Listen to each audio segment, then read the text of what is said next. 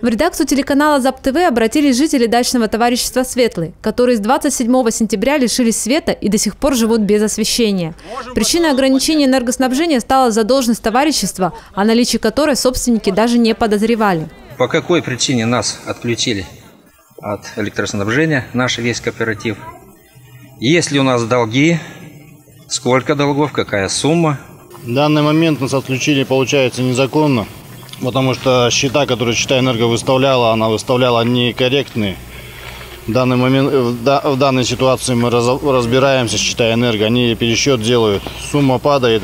Насчет суммы я вам сказать не могу, какой сейчас долг составляет. Чита «Энергосбыт» прокомментировала данную ситуацию и предоставила нашему каналу официальный ответ. Как выяснилось, задолженность товарищества составила более 800 тысяч рублей. Об этом председатель был извещен еще в июле месяце. В августе было заключено соглашение о реструктуризации задолженности. Однако в течение двух месяцев соглашение не было исполнено в полном объеме.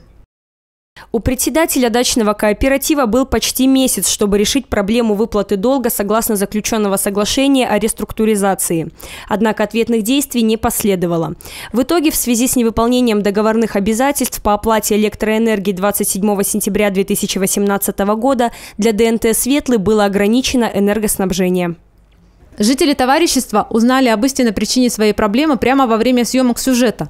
Такого поворота они не ожидали. Была молния. И сгорело все. 27.06.16 года это все сгорело.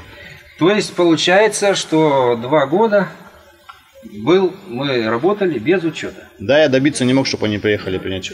То есть тоже Чита Энерго могла да. выставлять любые счета. Да. А значит, мы любые счета подписывали и... Мы не подписывали счета, мы 16 -го года счета не брали. А как платили? Ну, сколько денег собирали, столько и платили, и все. Он ни раз, у него не было отчетного периода, чтобы он перед нами отчитался. И чтобы у нас, нам сказал, люди дорогие, у нас очень большие проблемы с счета энерго. Почему этого не было? Павел Кудрявцев согласился с тем, что отсутствие отчетной информации – это его личный промах.